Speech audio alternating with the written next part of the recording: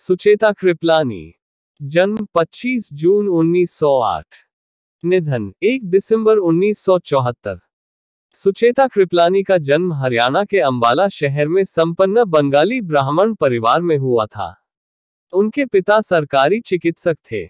उनकी प्रारंभिक शिक्षा कई स्कूलों में पूरी हुई क्योंकि हर दो तीन वर्ष में पिता का तबादला होता रहता था। आगे की पढ़ाई के लिए उन्हें दिल्ली भेज दिया गया। दिल्ली विश्वविद्यालय के सेंट स्टीफेंस कॉलेज से उन्होंने इतिहास विषय में स्नातक की डिग्री हासिल की। कॉलेज से निकलने के बाद 21 वर्ष की उम्र में ही ये स्वतंत्रता संग्राम में कूदना चाहती थी पर दुर्भाग्यवश वह ऐसा कर नहीं पाई क्योंकि उन्नीस सौ उनतीस में उनके पिता और बहन की मृत्यु हो गई और परिवार को संभालने की ज़िम्मेदारी सुचेता के कंधों पर आ गई। इसके बाद वे बनारस हिंदू विश्वविद्यालय बीएचयू में संवैधानिक इतिहास की व्याख्याता बन गईं।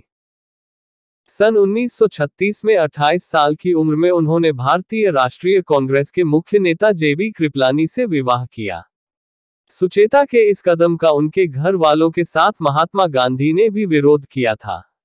जेबी कृपलानी सिंधी थे और उम्र में सुचेता कृपलानी से 20 साल बड़े थे।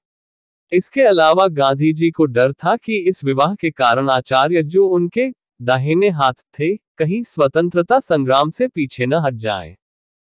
आचार्य कृपलानी का साथ पाकर सुचेता पूरी तरह से राजनीति में कूद पड़ी 1940 में उन्होंने भारतीय राष्ट्रीय कांग्रेस की महिला शाखा, अखिल भारतीय महिला कांग्रेस, की स्थापना की 1942 में भारत छोड़ो आंदोलन में सक्रिय होने के कारण उन्हें एक साल के लिए जेल जाना पड़ा।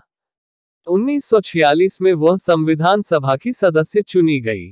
उन्नीस सौ उनचास में उन्हें संयुक्त राष्ट्र महासभा में एक प्रतिनिधि के रूप में चुना गया था।